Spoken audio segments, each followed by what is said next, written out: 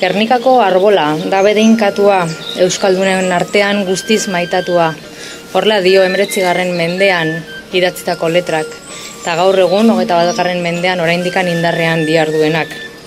Horea da, getxoko alkate honentzat, niretzat, lehen dakari agirre plaza honetan, Gernikako aretsaren kimua landatu izatea.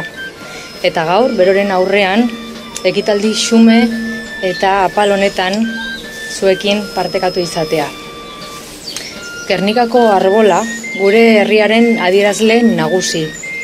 Bakearen, askatasunaren, duintasunaren eta giza eskubideen adierazle eta simboloa dugu.